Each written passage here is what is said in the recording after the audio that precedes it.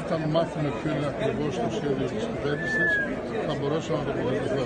Σας θυμίζω ότι ήδη δημόσια και με αποφάσεις του Δημοτικού Συμβουλίου Ορδέα αλλά και στις δηλώσεις που έκανα κατά την επίσκεψη του Πρωθυπουργού του κ. Κώστα στο Περιφερειακό Συμβούλιο, έδωσα κάποια ερωτήματα για τα τα οποία αναμένουμε απαντήσεις.